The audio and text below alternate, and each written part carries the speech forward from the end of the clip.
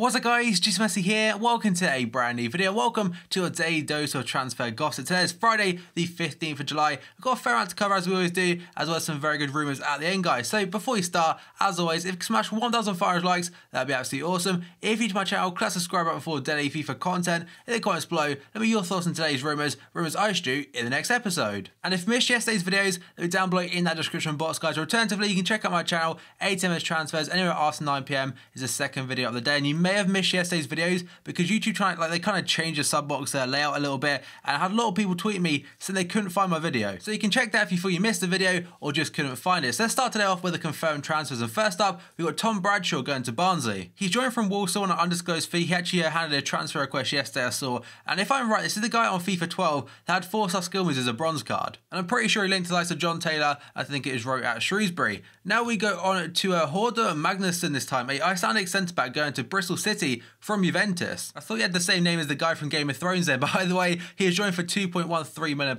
from the Serie A club. Then we got on to uh, Westermann this time, the German centre back, a veteran centre back now, 1983 is born, uh, going to Ajax for a free transfer, or on a free transfer, should I say, from Real Betis. Then we got into uh, a guy, obviously a legend, Tim Cahill, a player that's not FIFA Ultimate Team this year, but I imagine he could be back next year because he's left the Chinese League team that he was at, which is going to be Hangzhou Greentown, to apparently go to Melbourne City. The Melbourne part isn't actually confirmed yet, but him being released by his Chinese club apparently is true. Then we go on to a guy, again another player, not a FIFA Ultimate Team. That is going to be Roger Martinez going to Jiangsu Suning for £7.57 million. And that is from Racing Club in the Primera División, which is the Argentinian league. And if I'm correct, uh, Jiangsu Suning and Inter Milan, they both have the same owners. So if I, if again, if I'm right on this one, I think he's gone to China. And if he does well, he'll then go to Inter Milan as like a stepping stone. So I think that's what the case is for this one, but don't quote me. And now we go to one I covered yesterday. That's going to be Juan Jesus of uh, now officially of Roma. It's a loan deal. Apparently, they paid 2 million euros to loan him for this season, but they have a compulsory purchase clause of 8 million euros should certain conditions be met before the deal ends on June the 30th, 2017. So by this time next year, they could have paid 10 million euros to get him, but that's not a bad fee. Of what I'm aware of, he's a decent defender.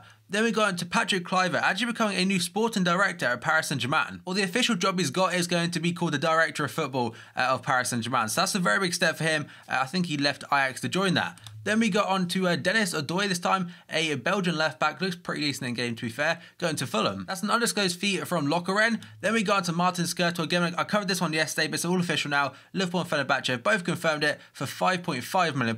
And I have mentioned it multiple times, this guy was pretty damn awful for the last like two years, but other than that was a fantastic uh, seventh for the club and played a lot of games for us. Then we got to another player leaving Liverpool. That's going to be Jordan Ibe. His move to Bournemouth has officially gone through for around £15 million and it also has a buyback clause for Liverpool. The, the buyback clause fee hasn't been mentioned yet. Uh, some sites are saying like £30 million, but honestly, no idea whatsoever. And finally, we have got Mehdi Benatia going to Juventus. That is from Bayern Munich, but again, there will be an update in tomorrow's episode as long as it goes through. So that's a completed medical, as Juventus have tweeted about it. And the final one is going to be a player that's not a FIFA Ultimate Team, if I'm correct. And that's a player, uh, it's actually been heavily suggested in the comments below by one particular person. I think it's called Tom Macy or Thomas Macy. So he keeps saying cover Frederick Dew going to Randers FC. Apparently the club he's joined from is going to HB Coach, I think the name is. The reason I've covered it, I think he's mentioned it like 14 straight videos. So apologies for not covering that one. Now we got into the potential deals and first up we got James McCarthy linked to Stoke City. So according to the Daily Mail, Stoke City are exploring the possibility of signing James McCarthy from Everton. The midfielder is currently unsure of his future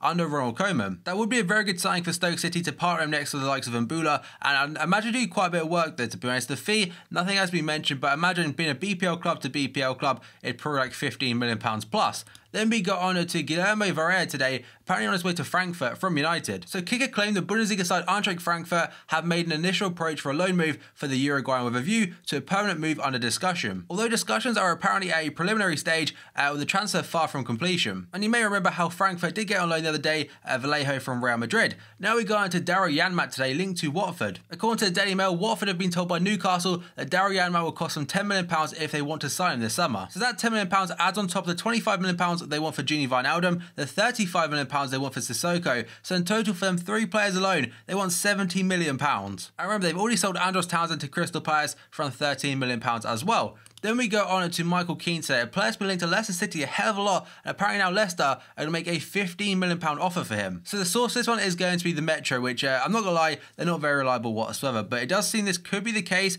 Um, it may be the correct fee or whatever, but it, it looks like it could happen. So they're saying that Premier champions Leicester could make a final £15 million bid to sign defender Michael Keane from Burnley. So they've had, I think it's £10 million and 11 million pounds rejected so far, and 15 million pounds, that is the highest they'll go. He also turned down a new contract offer from Burnley just last week. Then we got on to Neven Subotic today, linked to Middlesbrough again. So according to the Gazette, they're saying that Middlesbrough have submitted a work permit application for Neven Subotic after agreeing a 10 million euro fee, 8.3 million pounds, at the deal with Borussia Dortmund to sign the defender. And despite him not being too fantastic over the last like two seasons or so, I imagine it'll still be quite a decent deal for Middlesbrough. Then we got on to Alex Song today, linked to Juventus. So Juve are lining up a move for out of favour Barcelona midfielder Alex Song according to Calcio Mercato. The former Arsenal West Ham player is back in the Nou Camp after spending last season on loan at Upton Park, but he doesn't fit into Luis Enrique's plans. And that has now opened the door to Serie A champion Juve to make the move for the 28-year-old who is under contract at Barca until next season. And now according to The Guardian, quite a short one here, they're saying the Burnley hope to complete the signing of £1 million rated Crystal Palace midfielder Lee Chung-yong. That's literally all it says, nothing else on top of that one, but again, it could be a Burnley target.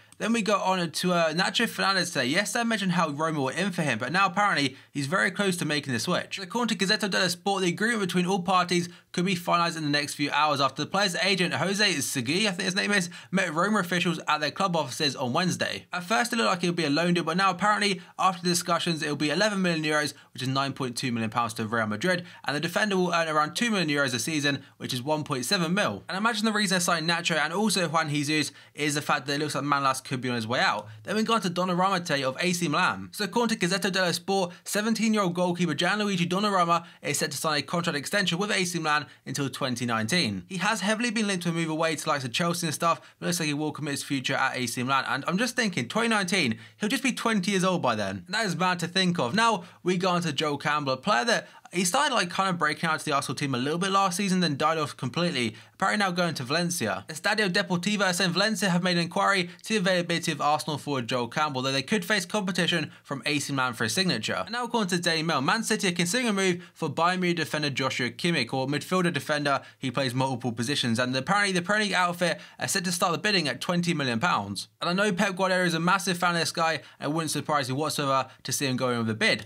Then we go on to Youssouf Sabaly today linked to Sunderland from Paris Saint-Germain. So according to Daily Mail, Sunderland are considering a move for Arsenal defender Mathieu Debuchy, but are more likely to sign Paris Saint-Germain's youngster Youssouf Sabaly on a season-long loan. And speaking about Sunderland, we've now got a player that's currently owned by them but was out on loan last season. That is going to be Emmanuel Giaccherini, who's quite good at Euro 2016 to be fair to him, and today linked to Napoli. So according to Sky Sports Italia, Emmanuel Giaccherini has sealed a switch from Sunderland to Napoli, which could be officially announced in the coming weeks. So this one's probably a while off now, but looks like it could be all be done. And Chelsea were initially linked to him just two weeks ago. And I imagine the fee is just like two to three million pounds what they were asking for. Now we go on to Luciano Vietto today, linked to Barcelona from Atletico Madrid. So the first part is according to AS. They're saying that Barca have reached an agreement, a verbal agreement that is, to sign Atletico Madrid prospect Luciano Vietto. And also according to Mundo Deportivo and Sport, saying that Barca boss Luis Enrique has been keen to sign a forward to act as backup for Lionel Messi, Luis Suarez and Neymar for several months now and has identified Vietto as an ideal target. Vietto is open to a move to Barcelona and now looks like they just got to reach an agreement between the two clubs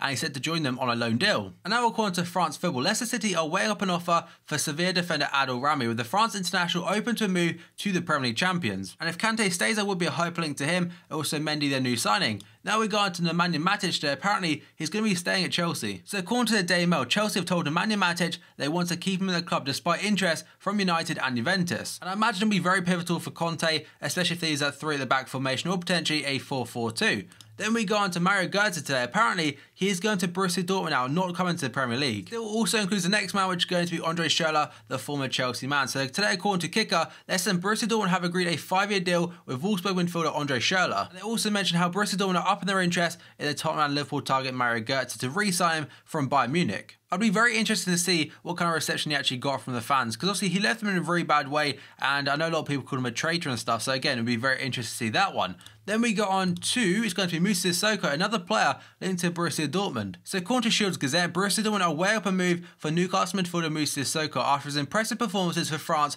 at Euro 2016. But if the papers were true the other day, to have to fork up £35 million to get him. Then we got into Kalidou Koulibaly, recently linked to likes of Chelsea and Everton, but apparently now Bayern Munich want him. So according to Sky Sports Italia, with Mehdi Benatia on his way to Juventus, Bayern Munich have joined the race to sign Napoli centre-back Kalidou Koulibaly. And imagine if he has the offers from Everton, Chelsea, as well as Bayern, he will choose Bayern over the Premier League clubs, although the contract from uh, Everton and Chelsea could be a little bit higher potentially. Then we got on to Antoine Griezmann, and this one isn't going to happen, apparently PSG have made a bid for him. So according to Antoine Griezmann's representatives, they're revealing that PSG made an offer for the Atletico Madrid star this summer summer. He finished top goal scorer at Euro 2016, but that could not help France win the tournament itself. So he has lost the Champions League final and Euro 2016 final in just a month and a half. So about three weeks ago, he did sign a new contract at Atletico Madrid for about five years, I think it was, until 2021. Speaking to RMC, Griezmann's agent has come out and said there was an offer from PSG, but he'll continue at Atletico Madrid. It's 100% certain. And now finally we move on to Alvaro Morata, who's already made one switch this summer from Juve back to Real Madrid. And according to radio stations in Spain, Real Madrid have already informed Morata that he'll stay at the club this summer. So despite recently being linked to the likes of Chelsea and Arsenal, he will stay at Real Madrid and apparently Morata will cut his vacation short in order to return to club duty. So he's obviously very keen to make a good impression at Madrid for a second time. So there we have it guys, there's been all the potential transfers as well as confirmed stuff